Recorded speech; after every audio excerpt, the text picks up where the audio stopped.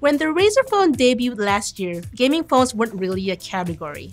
Now, however, there appears to be quite a number of them, like the Asus ROG and Xiaomi's Black Shark Helo. So Razer, not wanting to be left behind, has come up with a successor, the Razer Phone 2.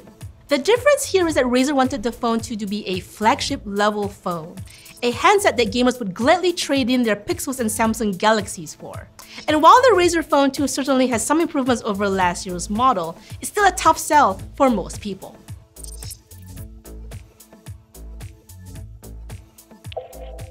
In a lot of ways, the Razer Phone 2 looks and feels very similar to its predecessor. It's a big rectangular slab with thick bezels. Razer said that this design keeps it in line with the rest of the company's hardware, but I can't say I'm a fan. It's uncomfortable to hold for long periods of time, which is kind of an important factor when you're playing a lengthy game like Fortnite. It's an even bigger pain for people with small hands like myself, as I found it almost impossible to hold one-handed. Flip the phone over and you start to see the first signs of improvement. The phone 2 has a glass back which feels more like a premium handset. There's also a Razer Chroma logo on the back which lights up in a variety of colors. It has three modes, static, breathing, also known as a pulse mode, or spectrum, which rotates through a bunch of different colors. Interestingly, it also functions as a notifications light. If you get a Facebook message, it will glow blue, for example. And if you're low on battery, it'll glow red.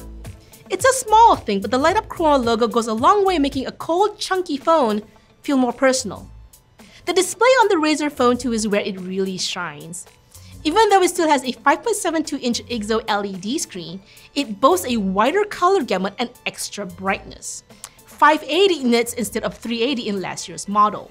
That means deeper blacks and more saturated colors, and I like that I can actually use the phone in bright daylight without the display looking washed out. That said, it's not quite as bright as competing Android phones with OLED displays. I'm not too fussed about that though, because what it lacks in vibrance, it makes up for in performance. Like the original Razer phone, the Razer Phone 2 has a 120Hz screen refresh rate. This results in buttery smooth interactions when scrolling through menus, flipping through Instagram, and of course, playing games. Another feature that the Razer Phone 2 inherited from the original is Dolby Atmos enabled speakers, which is a good thing because these are definitely one of the best built-in speakers we've ever heard from a phone. The sound is not just loud, but also surprisingly crisp and balanced. No, you won't get deep bass here, but for playing games and watching movies on Netflix, it's great.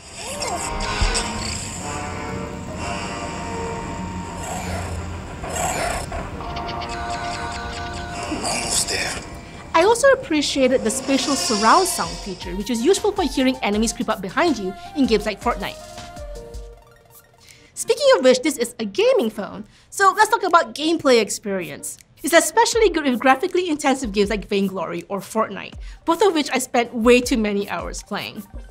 With Fortnite in particular, I really appreciated the visual detail and smooth performance, as even the tiniest bit of lag could mean death. Plus, the Razer Phone 2 also comes with a game booster mode that optimizes the phone's settings based on the game that you're playing. So if you play something like Vainglory, you might want all of them settings maxed out. But if you play something less intensive like Pokemon Go for example, you can dial it back down to a power saver mode to conserve battery.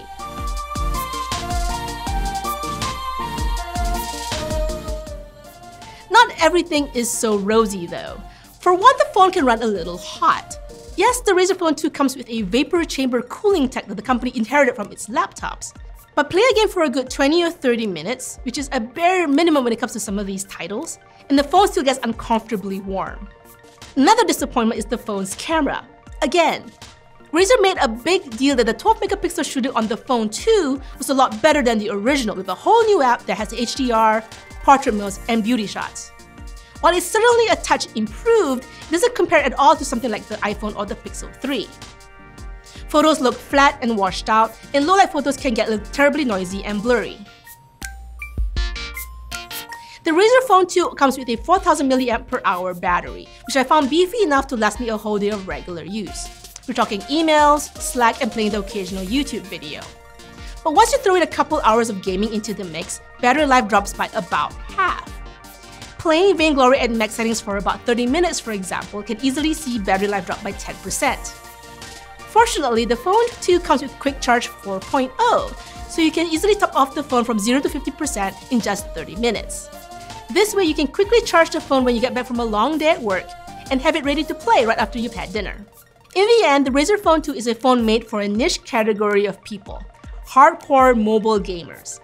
If you belong in that category, the Phone 2 might very well be a great phone for you. It has nearly identical specs to the Asus ROG as well as the Xiaomi Black Shark Helo. That said, the Razer Phone 2 and the Asus ROG are the only ones available in the US. Compared to the ROG, the Razer Phone 2 is cheaper. It's available at a lower price, $800 versus $900. It's a micro SD card slot and it's also water resistant. At the moment of this recording, we're still not sure how they compare in terms of camera quality, performance, and other factors. So if you're in the market for a gaming phone of this caliber, I would say wait to see how they both compare. As for the rest of us, I would say you can safely pass on the phone 2. Casual gamers and non-gamers need not apply here. The not so great camera and chunky form factor puts the phone 2 squarely in the realm of gamers who prioritize gameplay over these other features.